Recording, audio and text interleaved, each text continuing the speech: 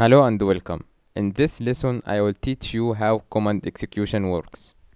Many websites make use of command line calls to read files, send emails, and perform other native operations.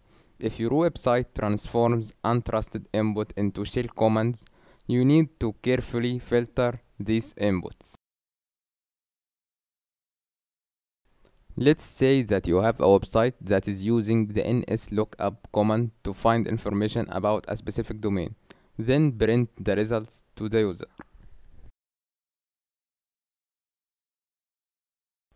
And since this input which is named domain is not filtered, then it is vulnerable to command execution. Any user with malicious goals can exploit this vulnerability and break the security of the website.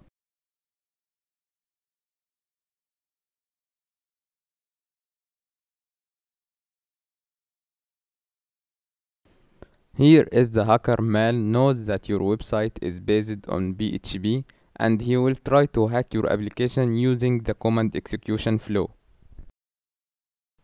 First, he will try to test the input with the right way by adding a normal domain name such as google.com.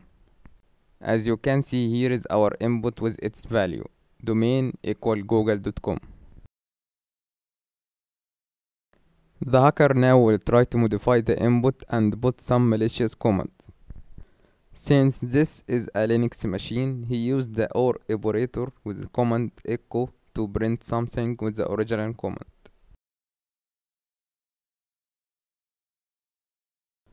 As you can see, he was able to print the word hacked after the original result. He can now do more commands using this flow and take control over the whole server. He can execute the popular Linux command etc slash password to extract sensitive data. This is a very dangerous flow. If you found it in a web application, you can really hack the whole thing easily.